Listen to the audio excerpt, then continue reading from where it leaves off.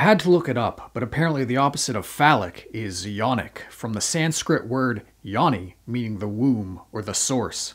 There's no shortage of pointing out the phallic symbolism on film, of which Onibaba does have its share, but there doesn't seem to be as much delving into the yonic. Sadako climbing out of the well, the women of the descent navigating their way through narrow cave passages, Dolores Claiborne leaping over the well, which itself seems to be an homage or derivative of Onibaba's own yonic suggestion. What else would you call it? Two women killing and disappearing men down a deep, dark pit? If the Yonic is the source, the Yonic might also be the terminus.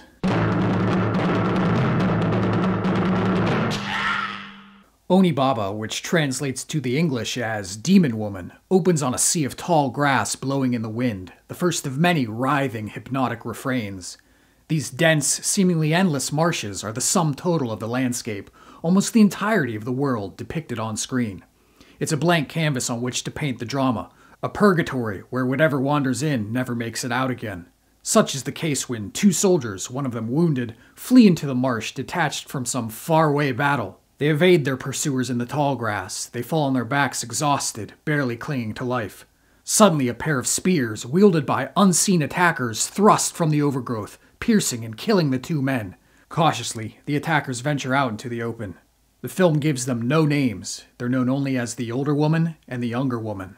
The women appear like wild animals, the older woman with a shock of white hair like the warning markings for some poisonous insect or reptile. The women are disheveled, but their kimonos appear new and clean, most likely the spoils from a previous catch, perhaps a lingering vain indulgence. The women strip the soldiers of their weapons and armor, then throw their bodies unceremoniously down into the pit. They trade the weapons and armor to an old man in a cave for sacks of grain and news of the war that's driven them all to such desperation. Onibaba is a film that seems to take place on the dark periphery of the heroic samurai epic. While the pretense of civility is maintained somewhere off in the grand castles of Throne of Blood or Kagemusha, here in the tall grass, where no one is looking, it's been completely abandoned. While the seven samurai are off saving the village, their wives have been left behind to revert into bloodthirsty primitives. Husbands, fathers, sons, the farmers who tame the land and beat back the tall grass, all of them gone, and no telling when or if they'll ever return. In the case of the two women, it's the one man, Kichi, the older woman's son and the younger woman's husband, who's left them both behind. With nothing else in common, the women's relationship, living together in the same small hut, seems built primarily on necessity or strength in numbers, and maybe as a sort of unified vigil for when Kichi might finally come home again. The tenuousness of this arrangement is soon made all too apparent when one day a former neighbor, a man named Hachi, returns home from the war and sets off a powder keg of lust, jealousy, superstition, and deceit. There's a sort of pop streak to Onibaba, from the opening titles set to slithering percussive jazz music to the copious nudity and its attitudes towards sex.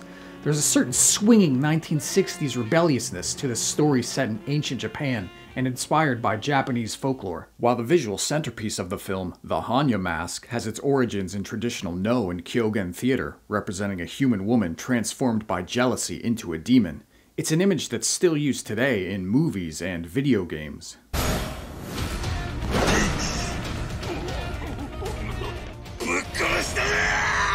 Hachi arrives at the marsh having deserted from the army, and in time reveals that Kichi has been killed, beaten to death by farmers while he himself managed to escape. Could Hachi be lying? Could he have murdered Kichi himself? The man, whatever he might have been before the war, appears just as conniving, just as unscrupulous as the women. He arrives dressed in the garments of a priest he claims to have killed while on the road. He asks the women how they themselves managed to survive this long, but whether from shame or an abundance of caution, a notion that they might have to kill Hachi just like they did the others, they refrain from telling him. It's only when trespassed upon by another pair of soldiers, locked in desperate combat, that the women finally drop all pretense. Hachi leads the way with a thrust of his spear to the one, the women follow suit by drowning the other. All at once, in a kind of primal initiation ritual, each has discovered the murderous complement of the other.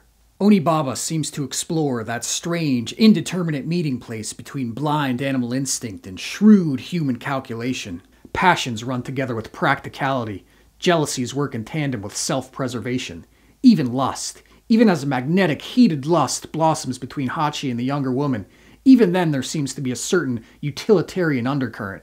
It's a lust not just of want, but of necessity, as if between the last two people on earth. It's sex as medicine, an anesthetic for poverty, misery, guilt, war. The older woman as well, her motivations seem to waver between the emotional and the practical. She's outraged that the younger woman should take up with a man who came back in place of her son. She's jealous and she's tormented by her own unsatiated lust. At the same time, there's also the fear that once bonded to Hachi and once Kichi, the only real connection between the two women is put behind them, the younger woman would have no reason to stay with her, making it harder for her to kill and lessening her chances of survival. Whatever isn't said is writ large on the actor's face, on the face of the older woman in particular, played by Nobuko Otowa, the then mistress, future wife, and frequent collaborator of director Kaneto Shindo. The film gives us frequent close ups of her heady, grease painted stare, her tortured grimace. You can read her every suspicion, can see the misery and the shrewd cunning in her thoughts. In trying to keep the two lovers apart, the older woman warns her daughter in law about the dangers of sin, that an unwedded carnality such as hers is the road to hell and purgatory. When Hachi first returns, he and the older woman recount some of the strange, ominous occurrences they've encountered since the war began. 去年の夏は霜が降りてのあられが降る夏じゃというのに霜じゃあられじゃ、畑の者はみんな枯れた、 都でも不思議なことがあったげな馬から牛が生まれたげな真っ黒いお天道様が出て昼が夜になったげな恐ろしや天持ちもひっくり返ったんじゃのう Altogether, it lays a bedrock for the supernatural, so that when one night a samurai in a demon mask comes to the old woman in her hut, even she can't help but cower as if he's the real thing.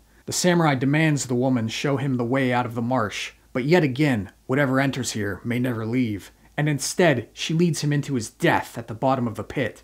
She climbs down into the hole and, with some difficulty, pries the mask from the samurai's face, revealing the mutilated visage underneath. Onibaba is sometimes classified as a horror movie. While the demons might not be literal and while the violence might not have the same tinge of unfettered sadism as in a Michael Myers film, there is still a certain stylistic flair in keeping with the genre. Upon retrieving the mask from the dead samurai, the older woman uses it to dress herself up like a demon, to scare the younger woman back inside whenever she tries to sneak off at night to meet with Hachi. And while we, the audience, might know it's just a trick, the film at times treats the demon woman like she's the real thing, translating the younger woman's fear of the supernatural into the visuals. Eventually, the woman's charade comes to a head in a heavy rainstorm, as if the natural world itself were acting out the waylaid passions between Hachi and the younger woman. The younger woman runs through the tempest to meet with Hachi. The older woman, disguised as the demon, intercepts her and turns her away. This time, however, Hachi finds the younger woman, and after telling her there's no such thing as demons, the two of them reconsummate their lust right there in the tall grass. The demon never pounces on them to take their souls. Hell never opens up underneath their feet. What better exorcism could there be? What better refutation of the demon's power than to sin right there where it could see? The older woman, the demon, slinks away, powerless, defeated. After her tryst with Hachi, after the storm has ended, the younger woman returns to the hut, only to find the demon crouched in the corner, perhaps come to punish her after all. She's frightened at first, until finally the older woman reveals herself, reveals her deceit. It seems the older woman can't get the mask off, that the rain has somehow glued it to her face, and she begs for the younger woman to help. When pulling on it fails, the younger woman picks up a mallet and in a frenzy pounds at the Hannya mask, pounds at the older woman all her anger and all her resentment loosed upon whatever forces, be they earthly or supernatural, that would presume to govern her life. Eventually, the mask splits in two and comes away, and the older woman's face is revealed monstrously scarred by the thing, to the point where the younger woman believes she really has become a demon. Manipulation deforms the manipulator. Jealousy transforms the woman into the Oni Baba. The younger woman runs away, and the older woman chases after her. The younger woman leaps over the pit, and the older woman follows suit. While it's not entirely clear whether the older woman makes the jump or not, I have to assume she did. I have to assume there are only two creatures in all that marshy purgatory who could possibly navigate the dark, ancient depths of the pit.